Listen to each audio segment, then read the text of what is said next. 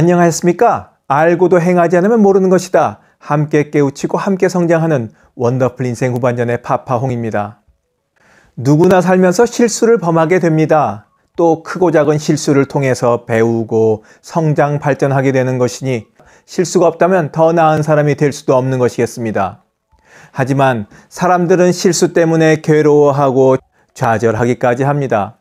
젊었을 때 했던 실수들이야 뭐 그땐 세상을 너무 몰랐으니까 경험이 부족했으니까 나이가 어렸으니까 한편으로는 젊은 혈기에 세상을 너무 만만하게 봤어서 그랬다고 너그럽게 봐주고 용서하고 인정하고 넘어갈 수 있습니다. 인생 사는데 약이 될 수 있을 테니까 말이죠. 하지만 반복해서 계속 같은 실수를 저지른다면 이건 문제가 심각해도 이만저만 심각한 것이 아닙니다. 나이 들어서 5060이 되어서도 같은 실수를 저지르는 사람들이 있습니다. 아주 독특하게 멍청한 사람이 아니겠냐 생각하실 분들도 계시겠지만 아닙니다. 너무도 평범하다 못해 남도 아닌 자신일 수도 있고 내 배우자일 수도 있습니다. 이런 분들의 특징이라면 인생 후반전을 온전하게 자신의 것으로 살고 싶은 기대, 하고 싶은 일들을 하면서 살고 싶은 마음, 변화하고 싶은 욕망이 가득하지만 지난날의 틀에 갇혀서 한 발짝도 앞으로 나아가지 못한다는 공통점이 있습니다. 그래서 오늘은 충만하게 살고 싶지만 변화하고 싶지만 끝끝내 인생을 실패자로 살게 하는 반복되는 실수들에 대해 여러분들과 이야기 나눠볼까 합니다. 인생 실패자, 뭐 그거 다른 거 없습니다. 그리고 돈 적다고 실패자 아니고 돈 많다고 살고 싶은 인생을 다 사는 것도 아닙니다. 살고 싶은 인생을 살지 못한다면 실패자입니다. 잠시 후에 뵙겠습니다. 감사합니다.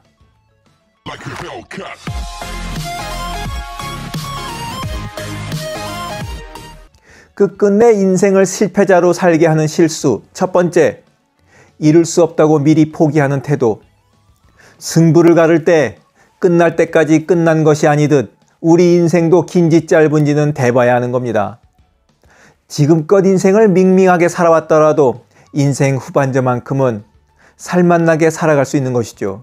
안 해서 못하는 것이지 못해서 안 하는 게 아닙니다.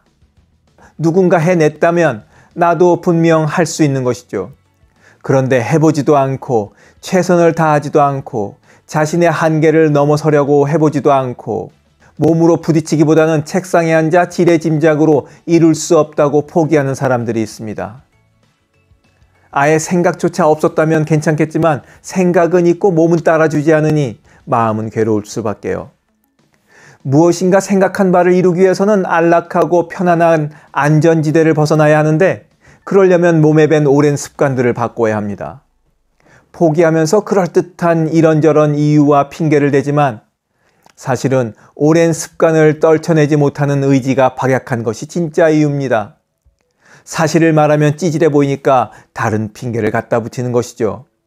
나이 들수록 익숙해서 편안한 오랜 습관들을 버리기가 더욱 힘들어집니다. 웬만큼 독한 마음 먹지 않으면 몸과 마음에 눌러앉아 주인 행사하며 우리를 조종하고 통제하는 나쁜 습관들을 떨쳐낼 수 없습니다.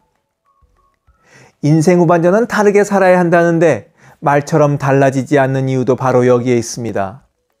쉽게 포기하는 것도 습관이어서 이놈을 내 몸 밖으로 내쫓지 않는 한 이룰 수 있는 것은 아무것도 없습니다. 끝끝내 인생을 실패자로 살게 하는 실수 두 번째, 모든 것을 나이 탓으로 돌리는 합리화. 아이고, 살면 얼마나 산다고 그렇게 아둥바둥하고 살아. 지금 그걸 배워서 뭘 해? 이런 말에 설득되면 안 됩니다. 이런 얘기 자주 하는 사람 치고 뭐 하나 제대로 이루고 사는 사람 없을 겁니다. 나이 탓하며 허송세월 하지 말라는 교훈을 주는 유명한 이야기가 있죠.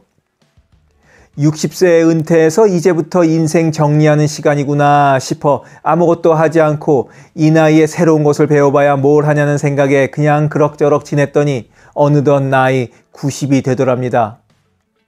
그때 돼서 따져보니 무려 인생의 3분의 1을 아무것도 하지 않은 채 허송세월했다는 것을 깨달은 분이 계셨다죠. 그래서 100살 돼서도 똑같은 후회를 할까봐 두려워 더 늦기 전에 그때서부터 계획을 세워 하고 싶은 공부와 활동을 매진하게 되었다는 이야기 말입니다. 우리는 똑같은 실수를 범해서는 안 되겠습니다. 나이 얼마 드시지도 않은 분들이 자기 스스로를 아무 능력도 의욕도 없는 늙은이로 만드는 경우를 자주 보게 됩니다.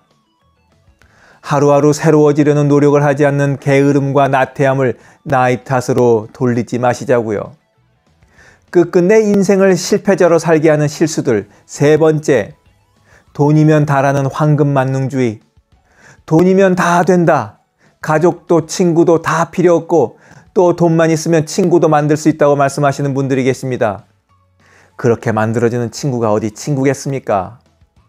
돈, 돈, 돈 하면서 돈을 입에 달고 살고 다른 무엇보다 돈이 최고다며 앞세우고 사는 사람들 치고 경제적으로 여유로운 사람들 못 봤습니다. 돈이 없으니 돈에 대한 집착만 강해지고 모든 판단의 기준이 경제적 유불리에 따라 정해지다 보니 친구도 떠나고 가족도 떠나고 쓸쓸한 인생을 살게 되는 것이죠. 이런 처지가 되고 나면 돈 없는 자신을 버렸다고 말하지만 자신의 지난 행동에 대한 성찰은 없습니다. 누구나 돈을 벌려고 열심히 살죠. 그리고 인생 후반전에는 경제적 안정이 인간다운 삶을 유지한 토대가 되니 늘 관심을 갖고 다뤄야 하는 문제입니다. 그렇다고 해서 원만한 인간관계, 건강한 몸과 마음, 꿈과 비전 등을 등한시하고 살다가는 불행을 자초하게 될 것이 분명합니다. 돈도 중요하지만 돈만큼 중요한 것도 있고 돈으로 살 수 없는 것도 분명히 있습니다. 돈 있어야만 행복하다면 그건 밑빠진 독에 물 붓기입니다. 끝끝내 인생을 실패자로 살게 하는 실수. 네 번째, 공부를 게을리하는 습관. 세상은 빠르게 변하는데 지난 것들만 부여잡고 변화로부터 고개를 돌리고 사는 사람들이 있습니다. 나이가 50대 중반밖에 되지 않았는데 컴퓨터니 인터넷과 담을 쌓고 사는 친구가 있습니다. 뭐 과학기술의 발전이 인류 사회를 망치고 끝내 절멸하게 만들 거라는 그런 철학적 가치 판단에서 인터넷과 담을 쌓고 사는 것이 아니라 그냥 게을러서 안 배우고 살다 보니 컴퓨터를 켤 줄도 모르고 자판조차 칠 줄 모릅니다. 이런 분들은 21세기 문맹이자 원시인과 다름없이 사는 것인데도 컴맹임을 자랑 삼아 얘기한 데는 아주 제가 아연지색할 정도입니다. 요즘은 제가 그와 상반되게 사시는 분들을 아주 많이 만나고 있습니다. 제가 네이버에 있는 실버들의 전성시대라는 카페의 회원이잖아요. 그곳에서 공감 가는 글도 아주 논리정연하게 쓰고 악기, 연주에, 그림에 미대륙 횡단하며 드론으로 여행 영상을 찍기도 하는 70대 중후반 분들이 수두룩합니다. 저는 이분들이 맨 처음에 나이가 많아봐야 50대 중반 됐을래나 생각했습니다. 아이고 그런데 연세를 알고 나니 아주 깜짝 놀랐던 경험이 있네요. 공부를 게을리하지 않는 분들이죠. 나이 들었기 때문에 공부할 필요가 없는 것이 아니라 나이 들어서 시험과 성적 압박에서 벗어나 마음에서 우러나와 하는 공부가 진짜 공부입니다. 자기 수양에 게으른 사람들은 대체로 무기력하고 부정적입니다. 세상과 인생은 긍정적인 태도로 가치 있는 일에 도전하는 사람들만이 바꾸는 것이고요.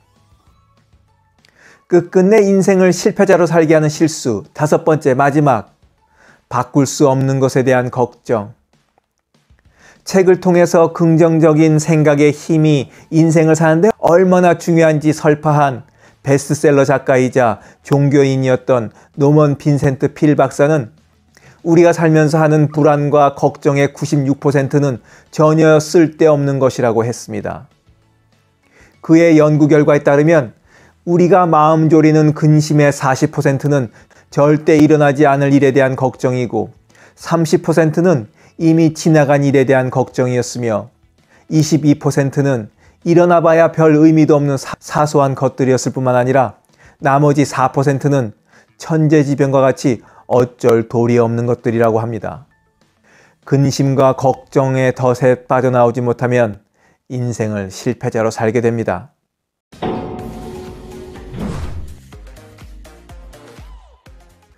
우리가 일상에서 맞닥뜨리는 도전과 그 결과로 맛보는 성공이라는 것이 아주 작은 것일 수 있습니다. 하지만 그 소소한 성공들이 쌓이고 쌓이면 달라진 인생의 지평이 눈앞에 펼쳐집니다.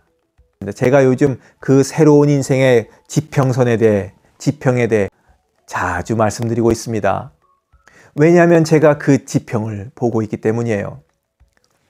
충만한 인생을 살기 위해서는 실패를 반복하지 않을 용기, 나쁜 버릇을 떨쳐낼 의지, 나이 탓하지 않은 당당함, 하루하루 새로워지려는 부지런함, 근심과 걱정에서 벗어날 긍정성이 필요합니다.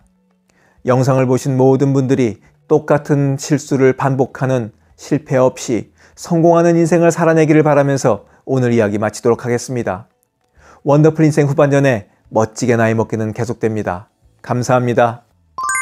자랑질, 지적질, 아는 채, 있는 채 하는 사람들에게 지치셨죠? 상대방의 얘기 경청하고 익은 벼처럼 겸손한 사람들이 모인 곳이 있습니다. 바로 네이버 카페 실버들의 전성시대입니다.